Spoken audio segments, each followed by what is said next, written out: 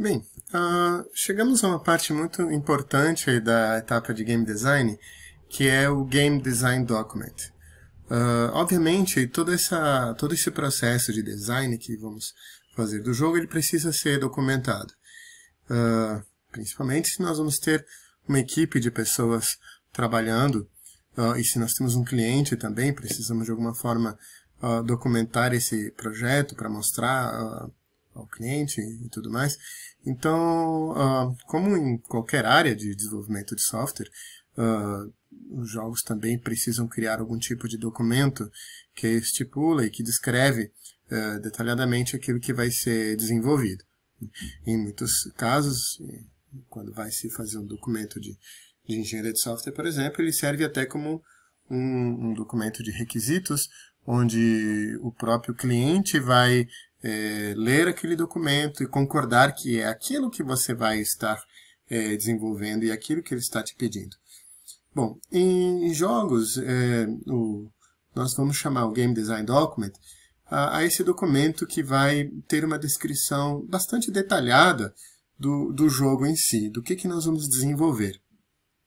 E o Game Design Document, ele, é, ele vai começar a existir muito antes de de, de ter qualquer linha de código, qualquer modelo já criado é, ou ilustrado do, do jogo em si.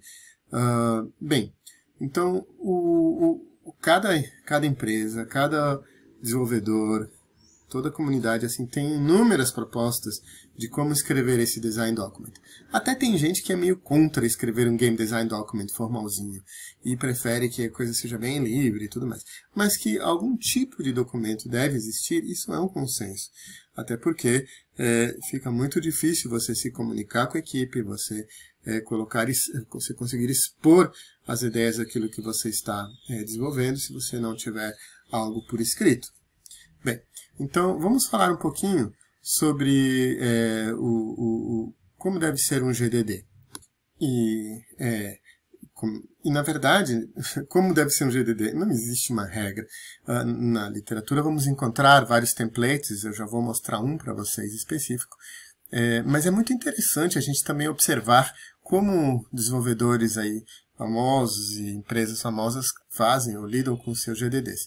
Aqui, por exemplo, é uma ilustração do que seria um pedaço do GDD do, do Prince of Persia, uma foto que eu tirei do próprio desenvolvedor numa palestra em que ele estava dando na GDC. Uh, ah, e, e, aqui nós temos uma outra captura de uma apresentação do, do GDD do, do, do, do Pac-Man, uh, também bem assim, rudimentar, bem, é, até porque o Pac-Man foi feito praticamente por um, um, pouquíssimas pessoas, por uma pessoa com a ajuda de poucos, e é, na verdade o, o, o, mesmo assim um jogo muito simples tinha algum tipo de documentação tentando é, transcrever aquilo que estava sendo é, desenvolvido.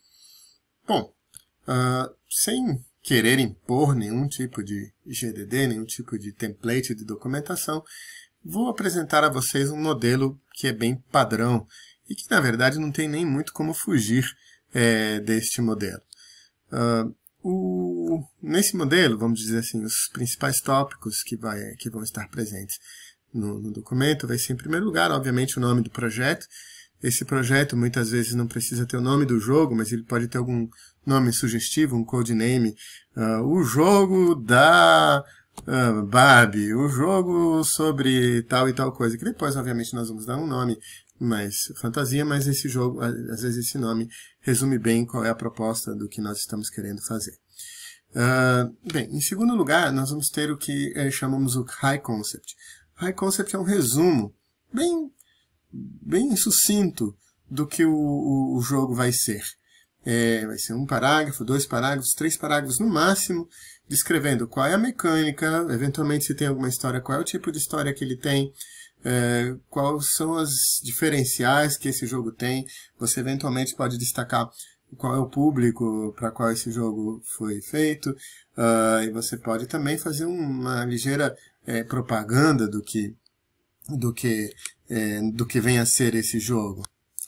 Muitas vezes, um, um bom exemplo do que vem a ser o High Concept é esse, essa breve descrição que a gente coloca, por exemplo, quando você é, vai colocar aí numa, numa Play Store uh, ou em qualquer outra plataforma, você faz uma breve descrição uh, bem sucinta para tentar até atrair o jogador para ver se ele sente interesse pelo seu jogo.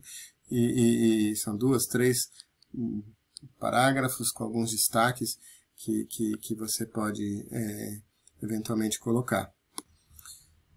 Na sequência, nós vamos ter é, talvez uma das partes mais é, importantes do, do GDD, em termos assim do que, de conteúdo, que é a descrição do gameplay e eventualmente do enredo.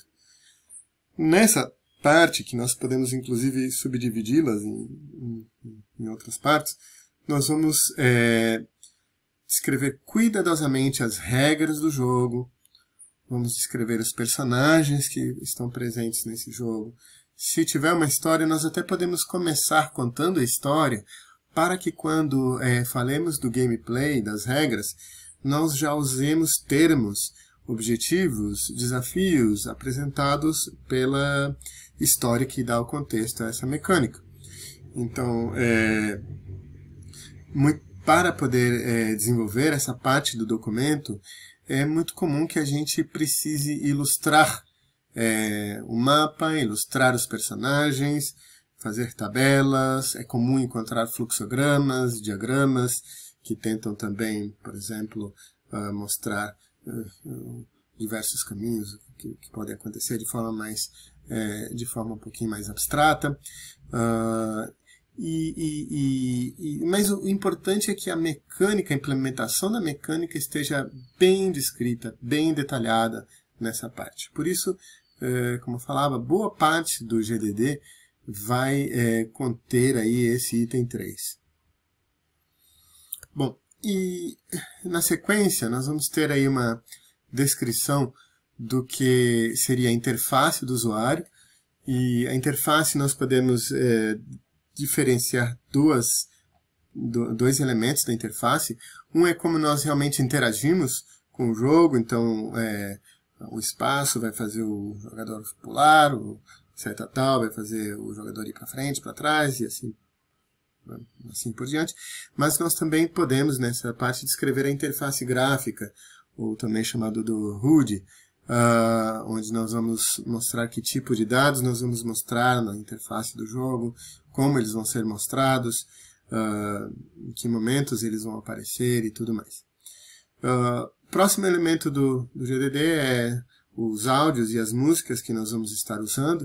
Uh, podemos colocar uma descrição detalhada assim, da lista de áudios que nós vamos precisar, por exemplo, até porque se nós vamos terceirizar todo o desenvolvimento de áudio, como é bastante comum, nós vamos ter que eh, entregar uma lista dos áudios e das músicas e das trilhas sonoras que vamos eh, precisar.